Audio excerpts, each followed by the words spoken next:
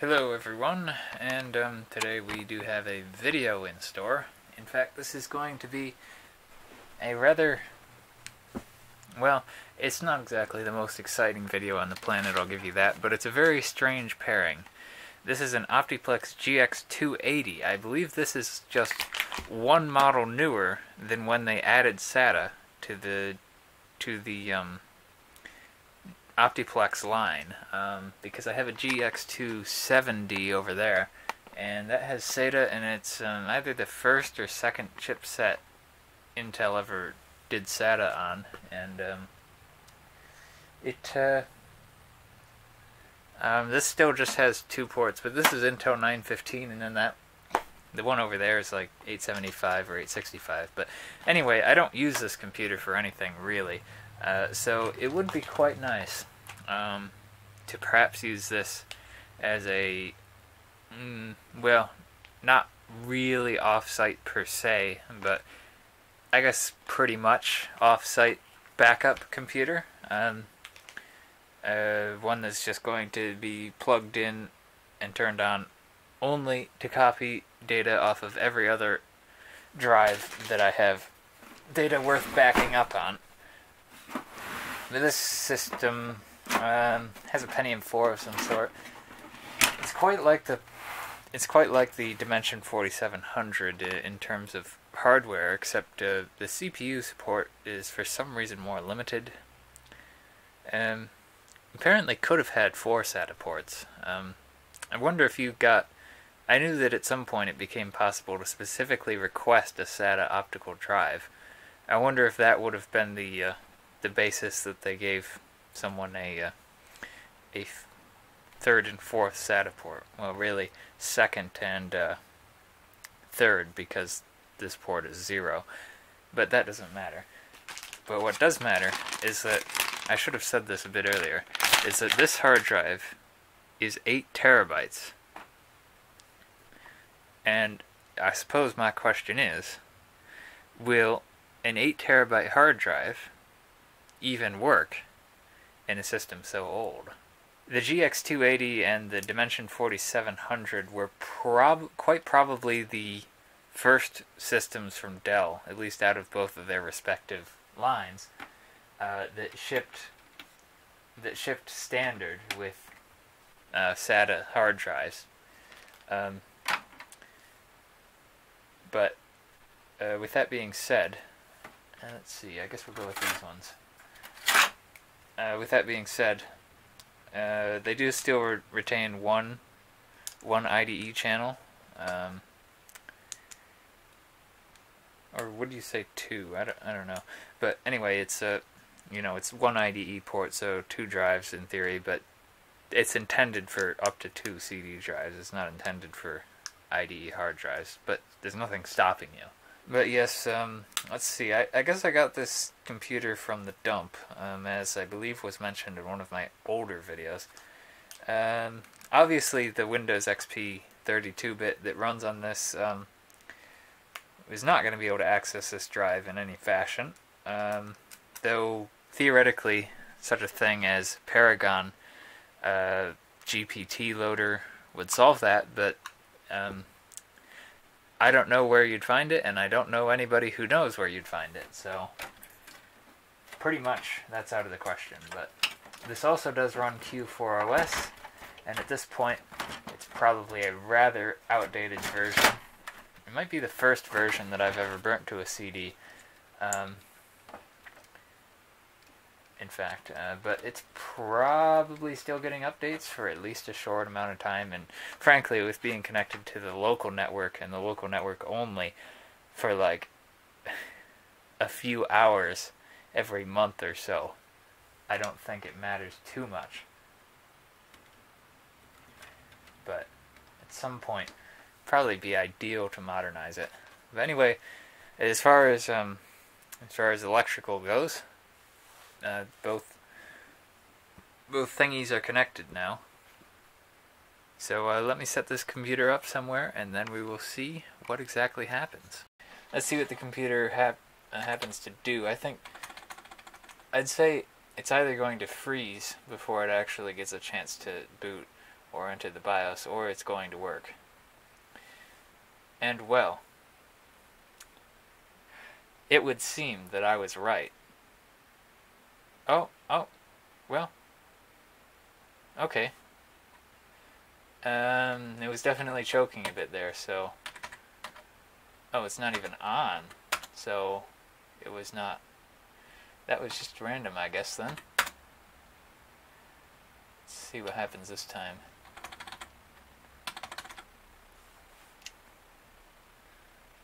Not much delay that time, that's strange. But, uh, let's see.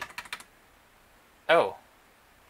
oh, well, um, as you can see, uh, it's, um, not pleased, per se. Um, because nothing is displaying in that pane, and it's not, it's not, um, very happy.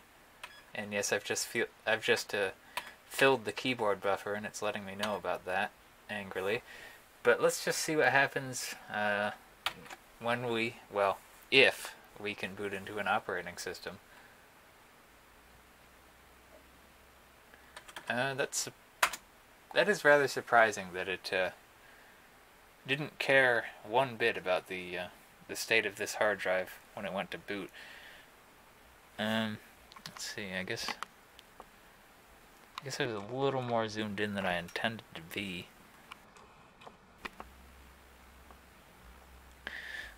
But anyway.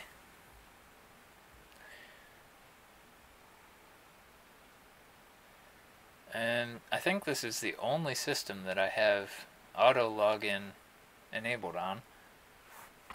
Oh dear.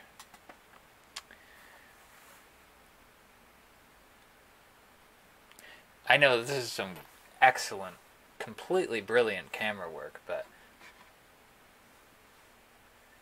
um, okay.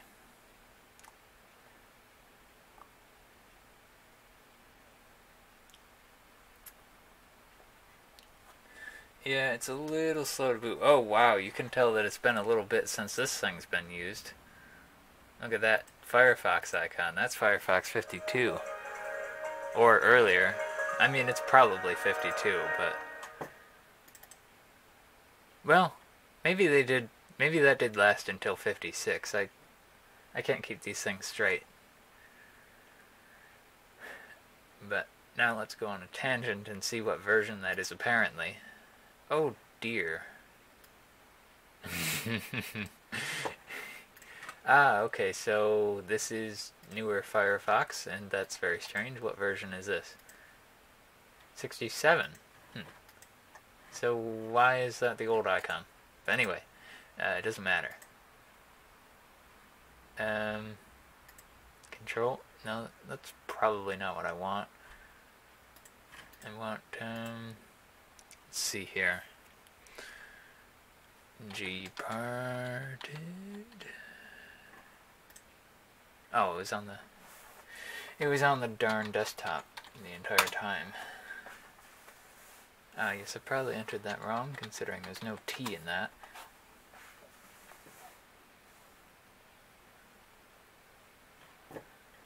A new medium has been detected. Wow, 8, eight terabyte. Huh. I suppose there is the question of whether or not this can actually write anything meaningful without corruption. Um, wow. What do you suppose is on this drive? What 300 megabytes of garbage has been put on this drive? This is history in the making. I, I mean, I knew this was a used drive, but frankly, I wasn't expecting stuff to be on it. Well, there's apparently nothing there. Um, I guess the answer is nothing meaningful, but it's strange that there's still a normal folder left I just want to make sure it's empty. I mean, obviously this doesn't matter. Um, I don't know what I'm... Ah, yes, okay, I'm just blind. Okay, but yes, it's, it's empty, but... Yeah, so it's just, uh, it's mostly just garbage. Um, but, um, basically, just yeet all this. And, um, might be a bit heathenish of me, but, uh, just make this one giant partition. the fact that FAT16 and FAT32 are not grayed out at that sort of size is quite amusing. Um, but anyway, let's see. My next biggest drive, which I think is either 2 or 4 terabytes, um, we will call this one Megastore because that one is called Superstore. And I don't know why, I mean I can obviously just go and type an E, but I don't know. For some reason, I have no E on the other drive, so might as well continue the tradition. Um, I know there was a video where I said I'm not that silly, but I think it's readily apparent that I am exactly that silly. Um, let's see, yes. Make ourselves a beautiful ext4 partition. Um, uh, hmm. Okay. So apparently I need to reboot to like uh, actually properly yeet the partitions or something. Oh wait, I think I know why. Oh, well that's not exactly what I was expecting, but I was expecting it to still be mounted and that's not the case at all. But anyway, we'll do as it says and reboot, I guess. Oh, apparently I've had this camera on the entire time, but it's not like it matters. Um, because you know editing is the thing. Um, but anyway.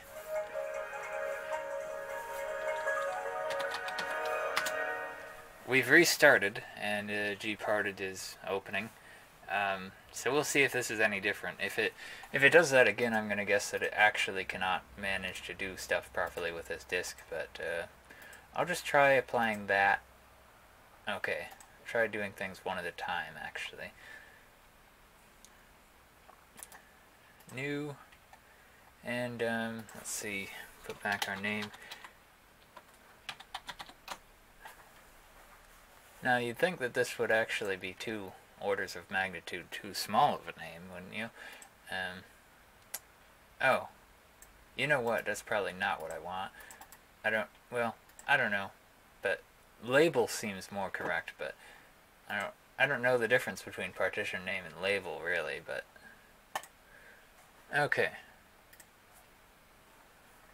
Yes. Go ahead. I guess partition name must be what disk managers look at, and then label is what, uh, like, file explorers and all that look at. Um, but it seems to be doing stuff. That was fast.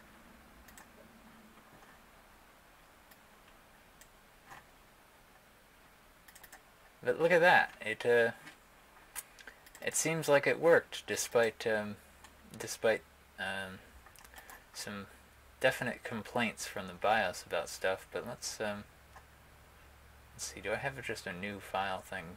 No. Okay. Let's open something then.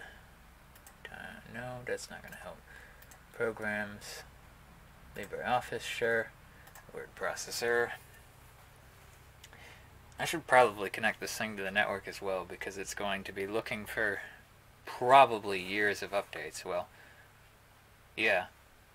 I suppose Firefox 67 was sufficiently long enough ago to, to qualify as years at this point. Not properly ages or anything, but it's old, man. Let's see. Just like this is a test. Um,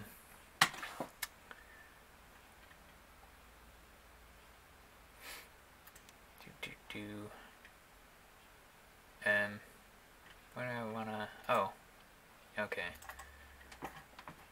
Just um test. No no. Why is focus there?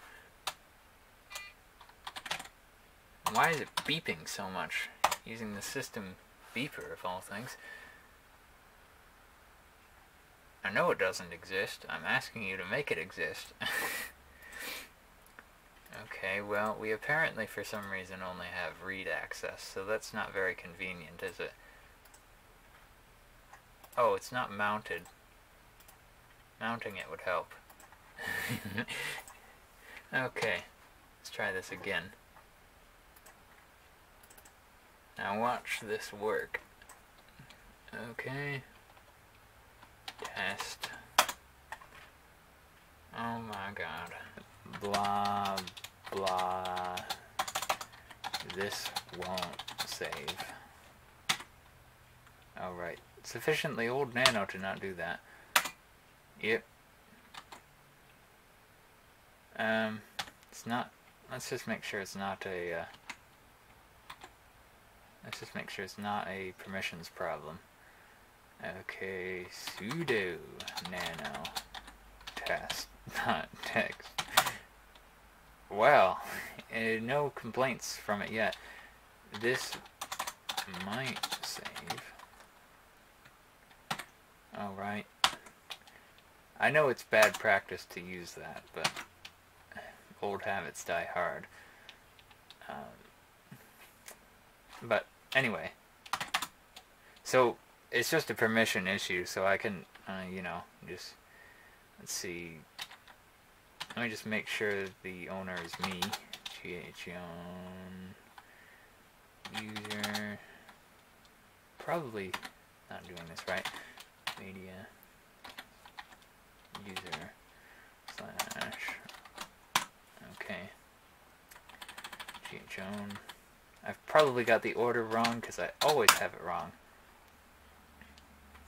Oh, sudo might help.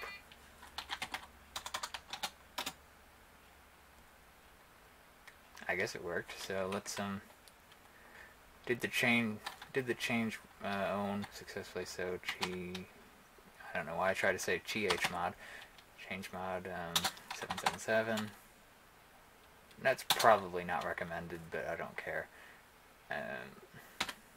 Because um, that would be, well, you know, now that I think about it, I don't want anything being executed on that.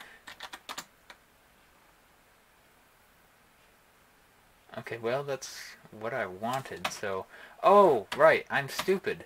Because execute permissions on a folder, do you know what they do? They don't allow you to list a directory. So, well, that should have been more obvious why it didn't work. But anyway, so now we should just be able to be a lowly peasant, and, um, ah yes, now here we see it, unless I was just blind before, but now we can just be a lowly peasant. Done.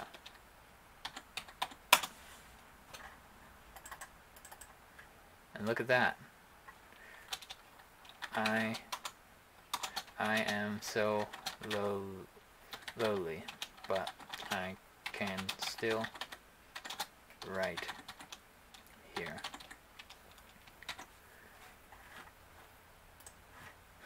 But anyway, um, see. You see that there? You can see, in fact, that the hard drive is in fact working quite swimmingly. 7.3 terabytes of usable space, 93 megabytes used for whatever, which apparently results in 6.9 terabytes being free, which doesn't seem like math if you ask me, but uh, things are how they're supposed to be, so it doesn't matter. I guess I should have, I guess the lock on this folder, I should have realized something's wrong because that lost and found folder never actually has a lock on it. Um, but things are nice and fine and dandy, so um, out of curiosity, I might stick this in the GX270 at some point and boot from some kind of Linux Live CD just to see what will happen, because, frankly, I'm quite interested in what will happen.